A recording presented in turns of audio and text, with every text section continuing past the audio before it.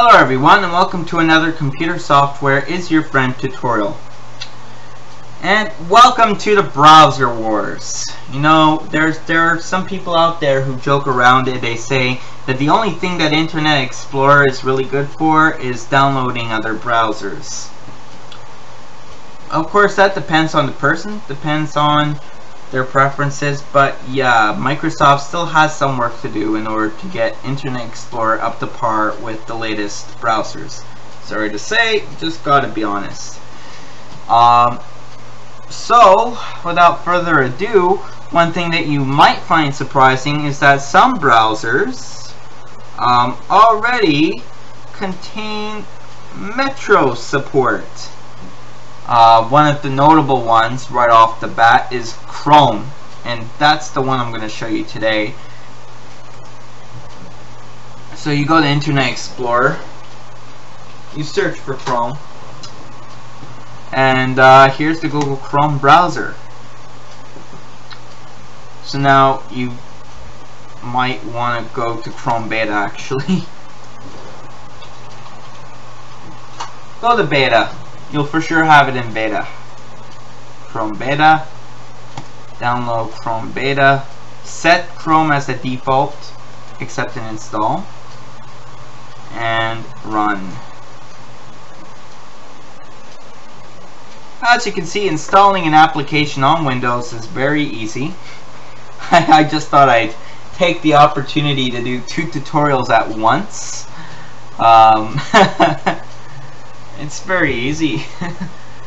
um, and essentially, you're going to be able to install Chrome and from there you're going to be able to uh, have it pinned onto your start menu but because it will be a default application you're going to see it in full screen um, what can I tell you before we install I, I know it's a spoiler but Chrome Metro app looks the same as the desktop app. It's just missing the Chrome on the top, which gives you the X, uh, which gives you the close, maximize, and minimize. That's pretty much it. Otherwise, Chrome acts exactly like it would anywhere else.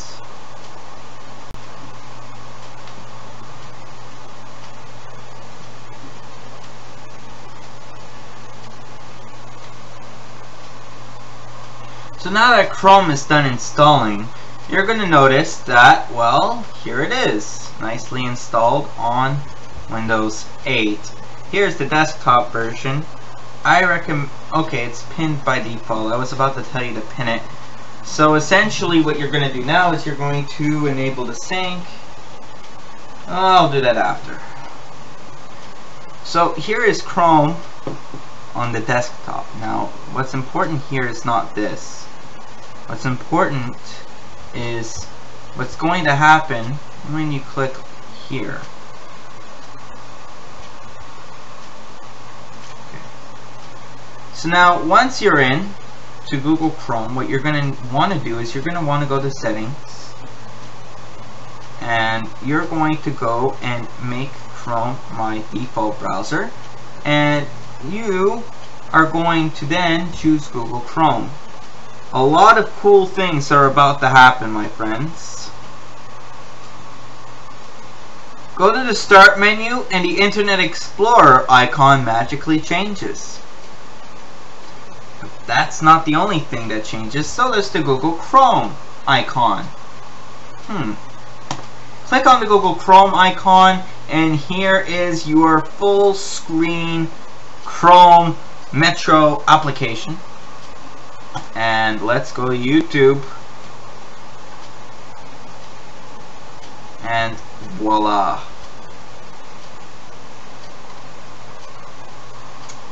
Of course out of the box. Flash should work.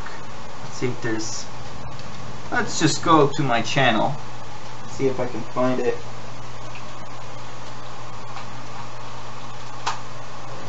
Play a video from my channel So I'll play a cool one. Let's see, which one do you guys like best? Uh, hopefully these view counts are going to get better soon. Uh, let's see. The start screen.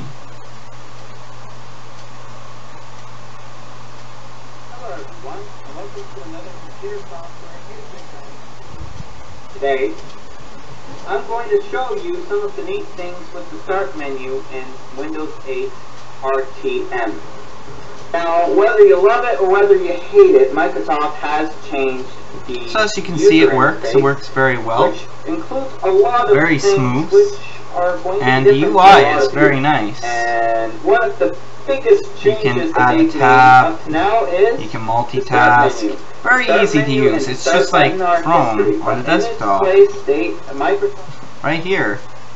And one interesting thing to note is that if you you going to land on switch applications here, the volume is going to automatically pause. So we we were at 47, give it a few seconds. let me just show you Okay, it doesn't pause, it mutes it. um, screen. So there you go. Google Chrome as the default browser. Now, wait a second. What if you don't like Google Chrome? Well, there's Firefox, which has announced that it is working on a Metro app.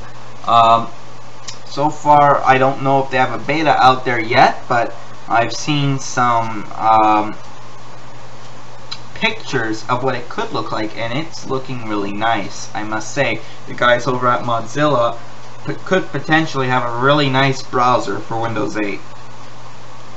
Just throwing it out there. And Mozilla and, and Google, when it comes to Chrome versus Firefox, at this point in time, Firefox is catching up just as fast as Google. So there are times when Firefox is actually faster than Chrome, but they're both updating incrementally so fast that you can't go wrong with either browser. It's a method. It's it's a basically preference choice at the moment.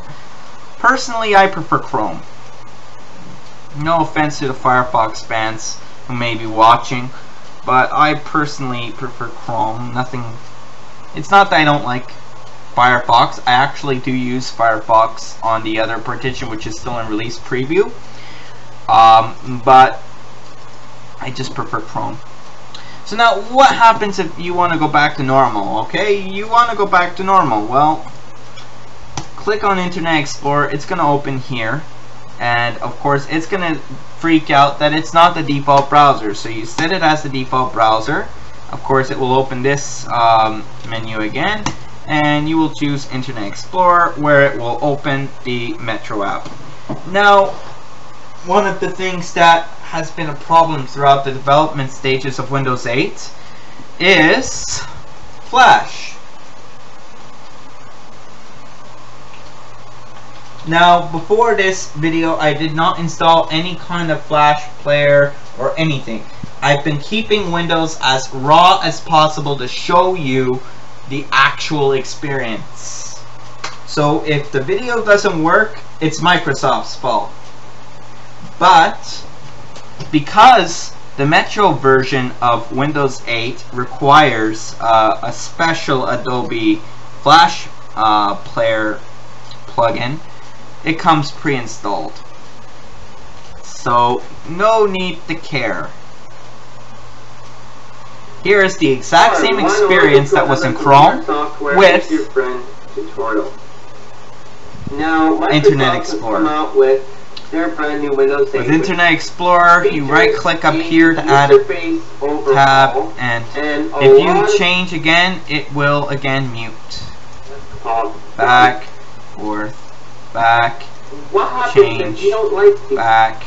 Uh, 26 27 okay give it a few seconds. And like Chrome it just mutes it. it doesn't pause the video. um which means that So that's how it is files, they will open with uh with. Internet Explorer. So do you really need to change to Chrome? not necessarily not if you don't want to. With Not if you don't want to. You don't necessarily have to change to Chrome if you couldn't hear me before because of the sound. So as you can see, that's how Internet Explorer works. The other one is how Chrome works. With Internet Explorer, you get more of a full screen experience than with Chrome as the default. But I mean, either way, you can't go wrong with either browser, really. Um, I'm not kidding. Of course, if you put uh, Internet Explorer is the default, you click on Chrome, it'll always open in the taskbar in the desktop. So as you can see, this is the browser war.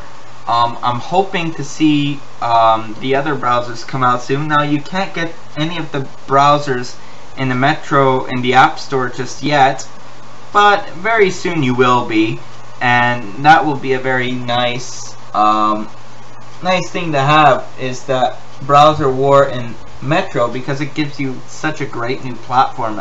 I think. So, what do you think? Which browser do you prefer in Metro? Or however you want to call this new interface. Let me know. Comment sections below. You like the content? Subscribe button is above. Don't wait. Subscribe. And uh, don't miss our other content on the blog. To do that, social media links are in the description below. Follow us on Twitter, like us on Facebook, and follow us on Google+. add us to your circle. Be kind. Be kind, because there's some stuff that's going to be on the blog that won't be on YouTube, and vice versa. Keep that in mind, folks. If you like our content, this is how you can follow us. This is how you can communicate with us. If there's anything you want to see, you let us know. You let me know. Don't hesitate. Let me know. Alright, subscribe buttons above, comment sections below, social media is below as well. This has been another computer software is your friend tutorial. Until next time.